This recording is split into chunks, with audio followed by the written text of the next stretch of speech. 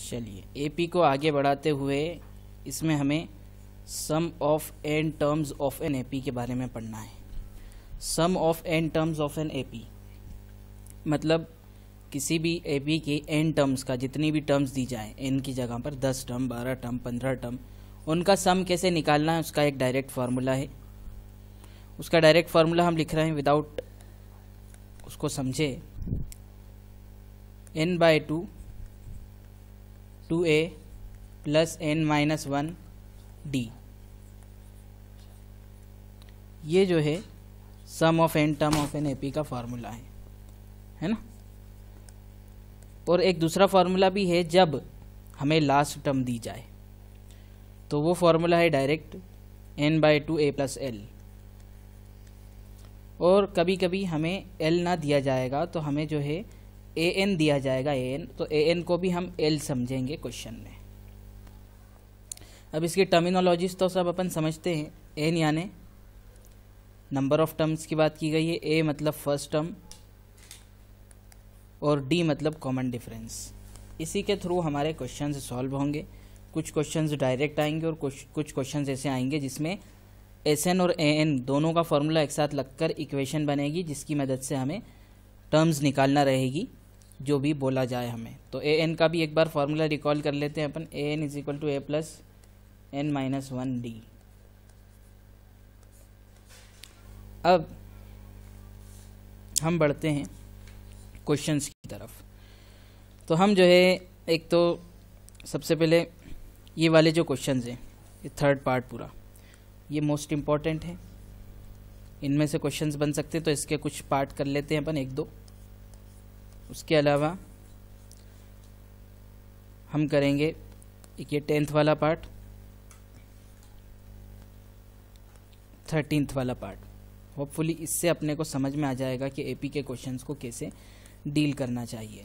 तो सबसे पहले जो थर्ड क्वेश्चन है, उसका पहला क्वेश्चन ले लेते हैं हम।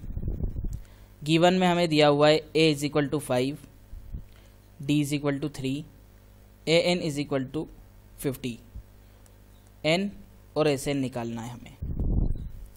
तो सबसे पहले डायरेक्ट एस एन का फॉर्मूला नहीं लगेगा, क्योंकि ए एन दिया हुआ है और दो चीज़ें दी हुई है, इसलिए हम ए एन का फॉर्मूला लगाएँगे, जिससे पहले ए एन निकलेगा, उसके बाद फिर एस एन निकालेंगे हम।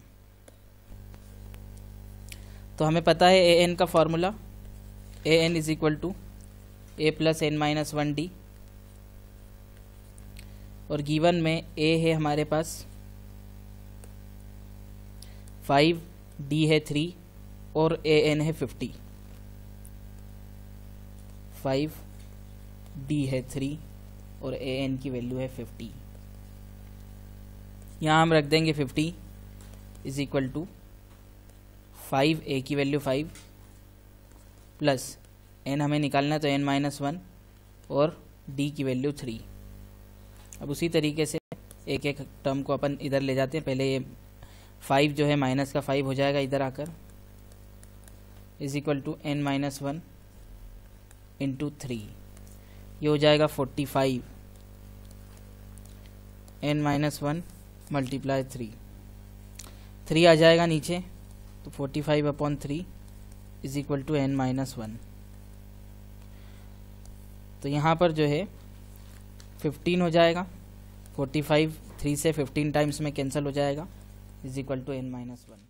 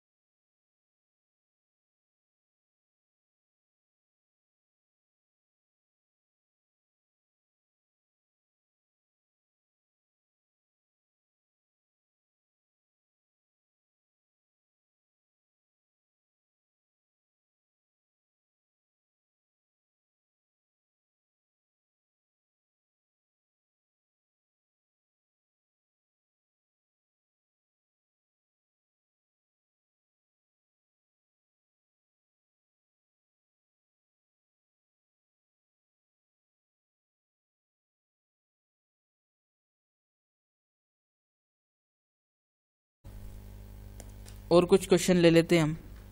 जैसे हम इसमें ले लेते हैं question number four.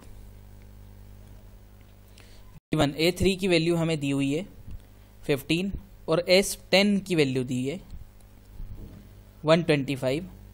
तो हमें निकालना है डी और ए टेन की वैल्यू। अब हमें जो है, सबसे पहले जो दिया हुआ है वो लिख लेते हैं ए थ्री और एस टेन दिया हुआ है, और हमें जो निकालना है वो डी है।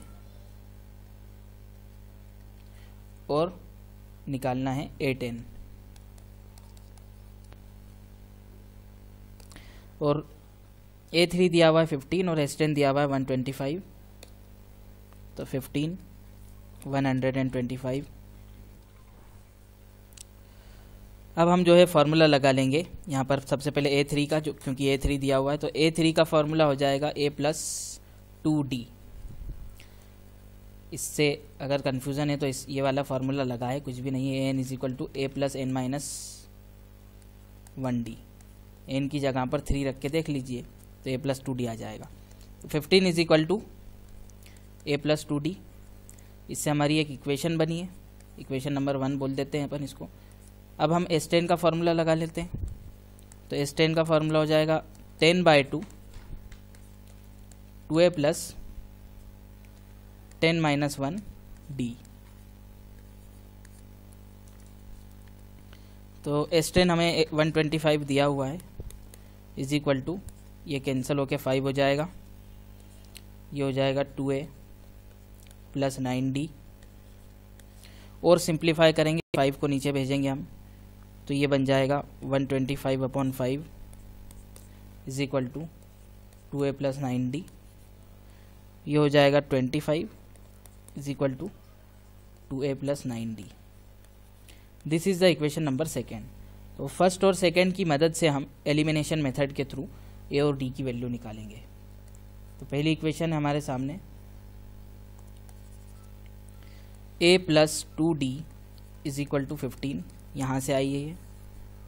और दूसरी इक्वेशन है two A plus nine D equal to twenty five यहाँ से आई है।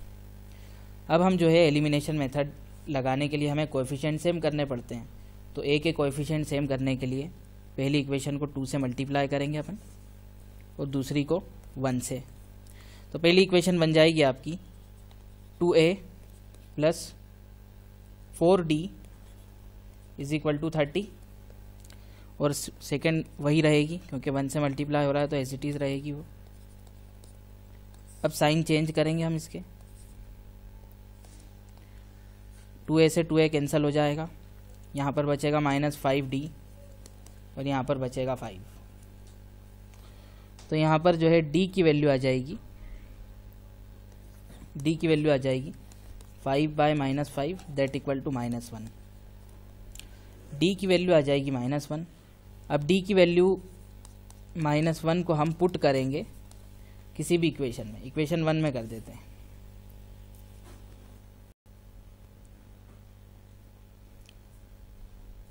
इक्वेशन जो है, वन में पुट कर देते हैं इसको अपन।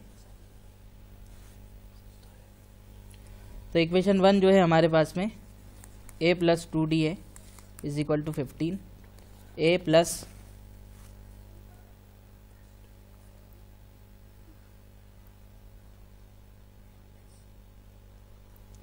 A plus two into minus one is equal to fifteen तो A minus two is equal to fifteen तो ए की वैल्यू यहाँ पर आ रही है। फिफ्टीन प्लस टू ए की वैल्यू आ गई सेवनटीन तो ए सेवनटीन है और डी माइनस वन है। और हमें निकालना है ए टेन डी तो निकल गया डी पहले जो निकालना था वो माइनस वन आ गया। अब ए टेन आ जाएगा। ए टेन का फॉर्मूला होता है a plus nine D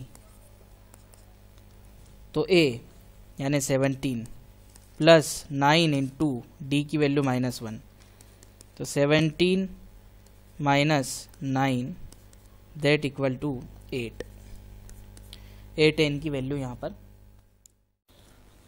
Next question part eight A N की वैल्यू फोर दी है डी टू दिया हुआ है. A N is equal to four D two S N minus fourteen, S N is equal to minus fourteen. We have to find N और A, first term और N निकालना है हमें। मतलब ए हमें फाइंड करना है और फ़र्स्ट, और एन फाइंड करना है। तो पहले एन दिया हुआ एन का फॉर्मूला लगा लेते हैं। A N is equal to A plus N minus one D four is equal to A plus N minus one into two equation number one और सिंप्लीफाई करके अच्छी बना लेते हैं इस इक्वेशन को अपन. Plus two N minus two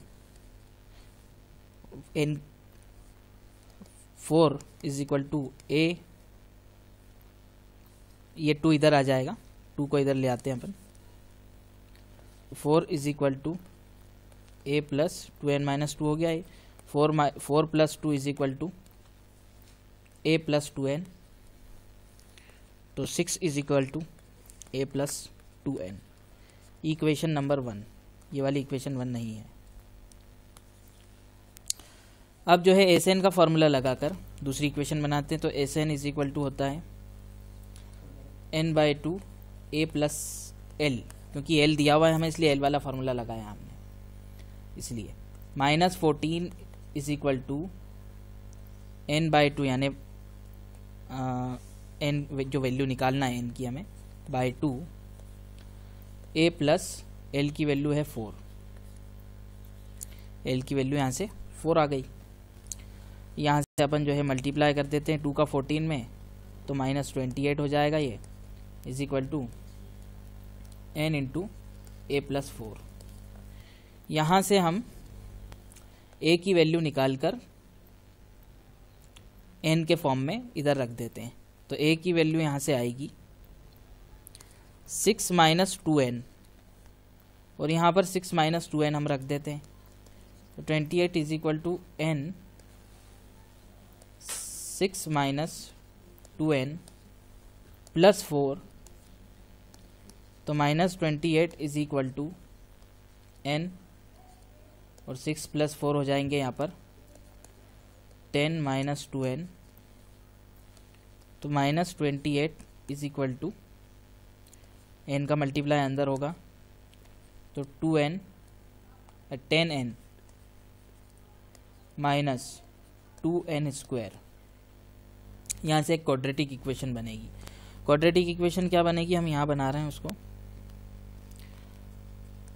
Two n square minus ten n और minus twenty eight. ये quadratic equal to zero quadratic equation बनेगी ये दोनों को मैंने इस साइड भेज दिया है। ये पूरी इक्वेशन टू से डिवाइड हो जाएगी। कोई भी इक्वेशन आसान होने के लिए किसी नंबर से अगर डिवाइड हो तो हमें कर देना चाहिए। तो सिंपल हो जाएगी इक्वेशन ये। N square minus five n minus fourteen is equal to zero यहाँ इसको सॉल्व करेंगे अपन। दो फैक्टर निकलेंगे इसमें सेवन और टू तो सेवन माइनस टू हो जाएँगे यहाँ पर minus fourteen is equal to zero n भी आ जाएगा यहाँ पर। N square minus seven n plus two n minus fourteen is equal to zero तो n n minus seven plus common two आ जाएगा यहाँ पर एन माइनस सेवन तो एक एन की वैल्यू सेवन आ रही है यहाँ पर। और एक एन की वैल्यू आ रही है टू माइनस टू तो एन की वैल्यू माइनस में तो हो नहीं सकती तो इसको नेग्लेक्ट कर देंगे अपन। तो एन की वैल्यू सेवन को लेंगे हम, क्योंकि एक एन एन एक हमेशा एक इंटीजर होना चाहिए, वो भी पॉजिटिव इंटीजर तो इसलिए एन की वैल्यू सेवन लेंगे माइनस टू को नेग्लेक्ट कर देते हैं। तो सेवन आ चुकी है एन की वैल्यू सेवन अब हमें जो है ए निकालना है, यानी फ़र्स्ट टर्म तो यहाँ पर हम एन की वैल्यू पुट करके ए निकाल लेंगे। Two six minus two into n की value seven is equal to a six minus fourteen is equal to a तो ए की वैल्यू आ जाएगी यहाँ पर माइनस एट तो होपफुली समझ में आया होगा ये क्वेश्चन अब नेक्स्ट क्वेश्चन कर लेते हैं अपन. इसमें से तीन करा दिए. इसमें से समझ आ जाएगा कि कैसे क्वेश्चन करते हैं हम. अब ये टेंथ क्वेश्चन टेंथ क्वेश्चन का एक पार्ट हम कर लेंगे. सेकेंड पार्ट बोला गया है कि show that a one a two a n a one a two a three a four a n तक ये एक ए पी बना रहा है, जहाँ पर एक एक ए एन की वैल्यू हमें दी हुई है। मतलब एन की जगह पर पहले वन रखना है, फिर टू रखना है, फिर थ्री रखना है फिर देखना है कि ए पी क्या बन रही है। और also find the sum of first fifteen term पहले फिफ्टीन टर्म का सम भी निकालना है अपने को। तो ये जो इक्वेशन दी है, इस इक्वेशन को अपन लिख लेते हैं, जिसे हमें सॉल्व करना है।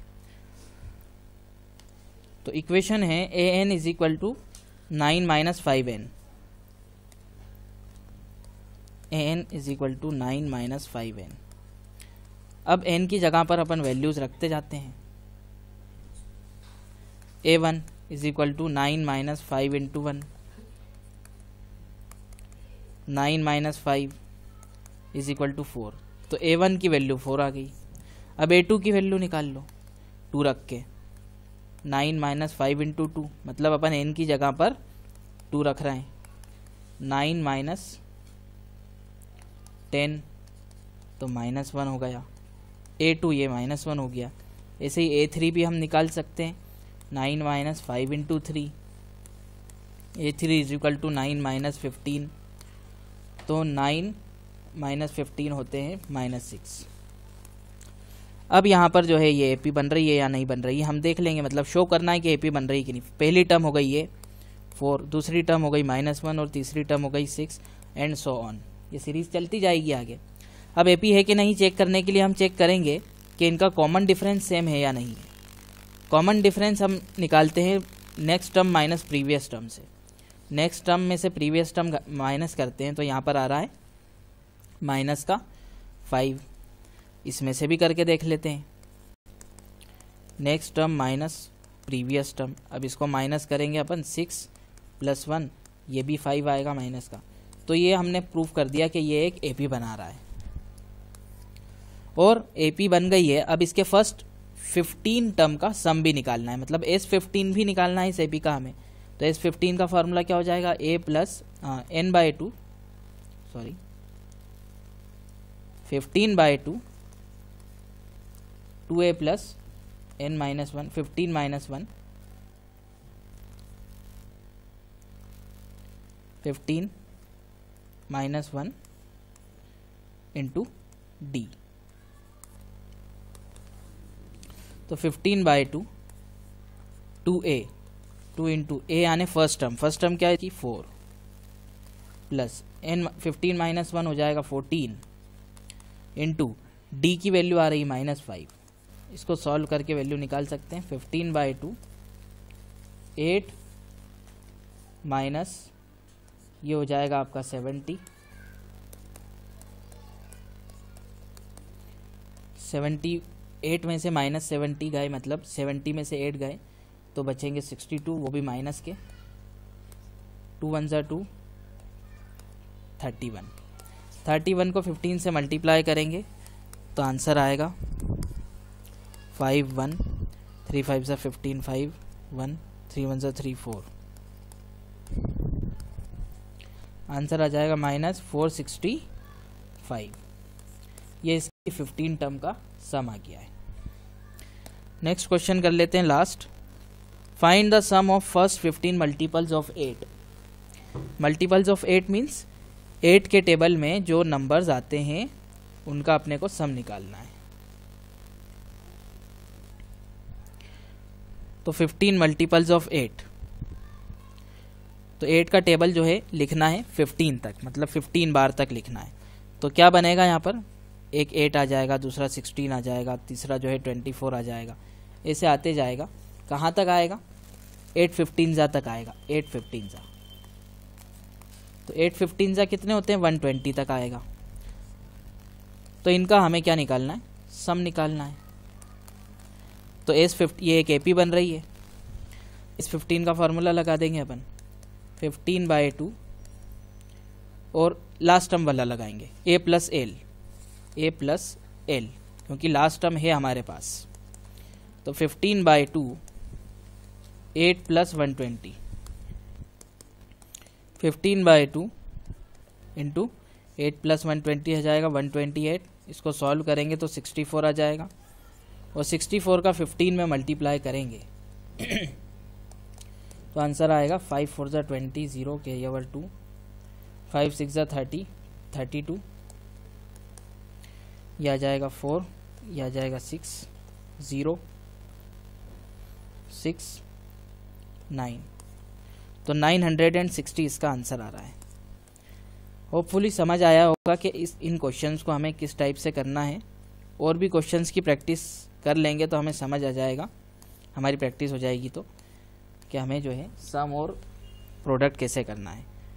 लगभग कंसेप्ट तो पूरे हो चुके हैं। सिर्फ़ इन क्वेश्चंस की प्रैक्टिस कर लीजिए तो आपके पक्का हो जाएगा ये चैप्टर